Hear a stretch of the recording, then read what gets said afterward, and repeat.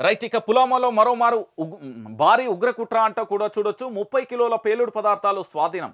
ధ్వంసం. కాశ్మీర్లో కొనసాగిన ఎన్కౌంటర్ అంటూ కూడా ప్రధాన అంశాన్ని కూడా హైలైట్ చేస్తుంది. పులామాలో మరోసారి గతంలో సైనికులను ఏ విధంగా చంపారో ఆ విధంగా అలాంటి కుట్రలు రాబోతున్నాయి. ముందుగానే పసికట్టి వాళ్ళను ఇద్దరు ముష్కర్లను కూడా హతమార్చారు నిన్నటి రోజున పూర్తిగా ఎన్కౌంటర్ భీకరంగా కొనసాగింది. ఆ పేలుడు పదార్థాలను కూడా స్వాధీనం చేసుకొని దాన్ని ధ్వంసం కూడా చేసారు దానికి సంబంధించిన అంశానికి సంబంధించి హైలైట్ చేసింది.